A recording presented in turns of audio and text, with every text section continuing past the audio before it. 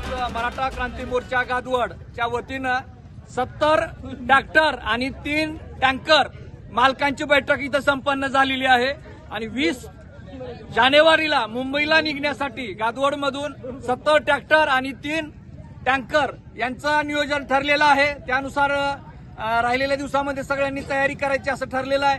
आणि वीस तारखेला ज्या सूचना येतील त्या सूचनेप्रमाणे गादवड मांजरापट्टा मधून सत्तर ट्रॅक्टर आणि तीन ट्रॅक्टर निघणार आहेत. तीन टँकर. एक मराठा. एबीपी माझा. उघडा डोळे बघा नीट.